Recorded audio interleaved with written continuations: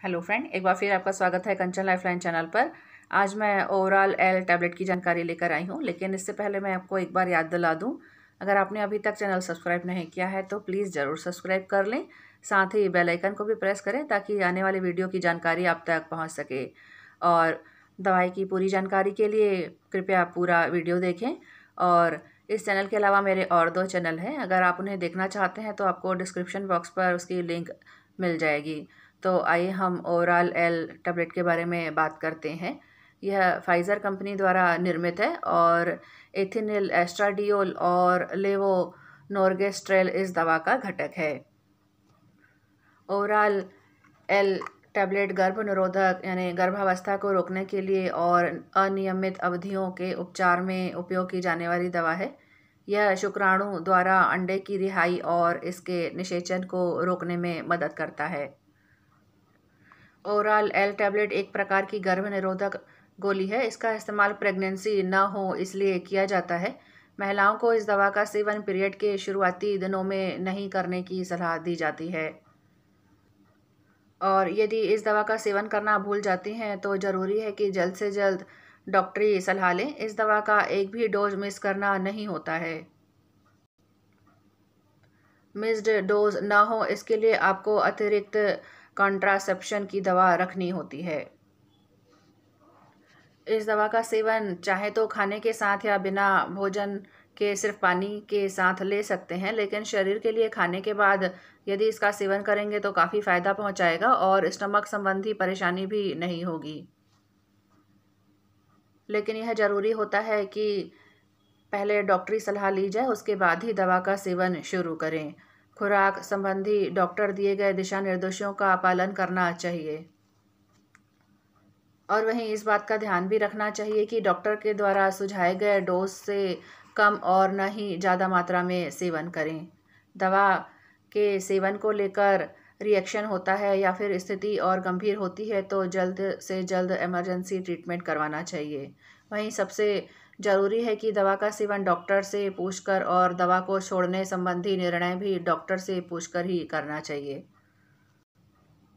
Overall, L के कुछ side effect हो सकते हैं, जैसे गंभीर रूप से पेट में दर्द और हैवी मेंस्ट्रुअल ब्लीडिंग, जी में चलना, उल्टी और थकान, कमज़ोरी, ब्रेस्ट पेन या नर्म होना या डायरिया और स्ट्रोक या फिर ब्लड क्लोट सिर चकराना डिप्रेशन सिर दर्द फ्लू जैसे लक्षण या होठ, चेहरे और जीभ, हाथ व तलवे का सूजना या सांस लेने में तकलीफ़ और निगलने में तकलीफ़ जैसे साइड इफ़ेक्ट होते हैं और तुरंत ही समाप्त नहीं होते हैं तो आप डॉक्टर से तुरंत परामर्श करें।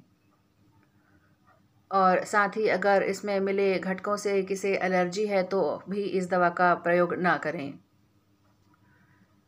और इसके अलावा एबनॉर्मल वजाइनल ब्लीडिंग या ब्रेस्ट कैंसर स्ट्रोक या हार्ट या ब्लड वेसल्स डिसऑर्डर और एस्ट्रोजन जैसी कुछ बीमारी या लीवर डिज़ीज़ जैसे मरीज़ हैं तो भी इस दवा को ना लें या फिर डॉक्टर से परामर्श ज़रूर करें।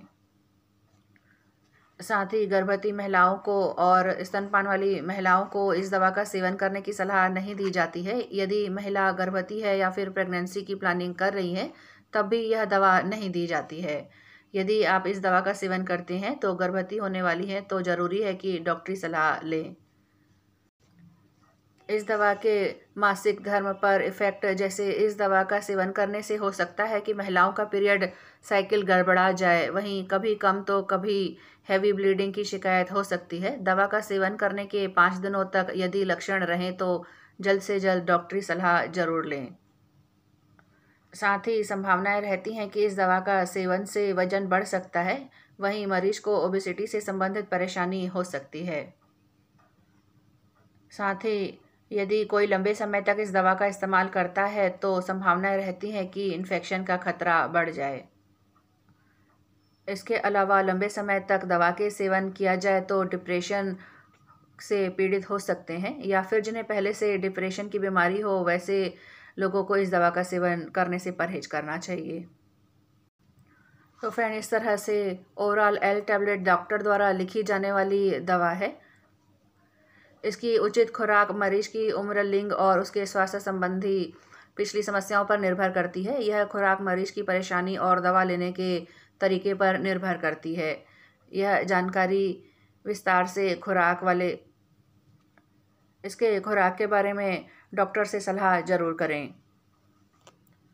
यह अधिकतर मामलों में दी जाने वाली ओरल एल टैबलेट की खुराक होती है। हर रोगी और उनका मामला अलग हो सकता है, इसलिए रोग दवाई देने के तरीके, रोगी की आयु, रोगी का चिकित्सा इतिहास और अन्य कारकों के आधार पर ओरल एल टैबलेट की खुराक भी अलग हो सकती है। इस तरह से ओरल एल टैबलेट का इस्तेमाल गर्भ निरोधक दवा तीन साल तक गर्भावस्था को रोकने के लिए और असुरक्षित यौन संबंध के बहत्तर घंटों के भीतर गर्भावस्था की रोकथाम के लिए और गर्भावस्था की रोकथाम के लिए और रजोनिवृत्ति के अल्पकालिक परिवर्तन को कम करना या रोकना, साथ ही मासिक धर्म में सामान्य से ज़्यादा रक्तस्राव होने पर और मासिक धर्म में होने वाली समस्याओं में, इनके लक्षणों में इसका इस्तेमाल किया जाता है। और यह एक गर्भ निरोधक गोली है जो गर्भाशय में निषेचित अंडे को जमने से रोकती है, जिससे गर्भ नहीं ठहरता। इसे 35 साल से अधिक उम्र की महिलाओं के इस टैबलेट का सेवन नहीं करना चाहिए। साथ ही यदि पहले से गर्भवती हैं तो इस टैबलेट का सेवन न करें। साथ ही एचआईवी से संक्रमित हैं तो भी इस दवा का उपयोग न करें। और इस ड्रग को अल्कोहल के साथ भी इस्तेमाल ना करें। साथ ही अगर पहले से कोई विटामिन ले रहे हैं तो इस टैबलेट का इस्तेमाल करने से पहले डॉक्टर से सलाह ज़रूर लें। साथ ही अगर टीवी या फिर लीवर से संबंधित कोई बीमारी है, तब भी इस दवा को ना लें। और अगर गलती से बहुत अधिक मात्रा में इस टैबलेट का इस्तेमाल करते हैं तो शरीर में दवा के खतरनाक स्तर हो सकते हैं।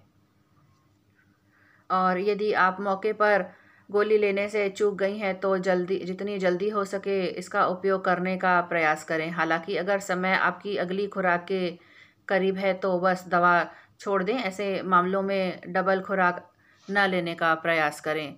साथ ही खाली पेट यह दवा नहीं लेनी चाहिए, इस दवा को भोजन के साथ ही लेना चाहिए। यदि ओरल एल टैबलेट के लेने के तीन से चार घंटे के भीतर उल्टी कर देते हैं तो इसे मिश्र खुराक माना जाता है। तो आपको एक और खुराक लेना चाहिए, जैसे ही आप अच्छी तरह से महसूस करते हैं। तो फ्रेंड इस तरह से ओवरऑल एल टैबलेट की जानकारी यहीं पूरी होती है और आशा करती हूँ कि इसकी जानकारी आपको अच्छी लगी होगी। तो प्लीज़ चैनल को लाइक शेयर और सब्सक्राइब ज़रूर करें। साथ ही बेल आइकन को भी प्रेस करें ताकि मेरे आने वाली वीडियो की जानकारी आप तक पहुँच सके। धन्यवाद।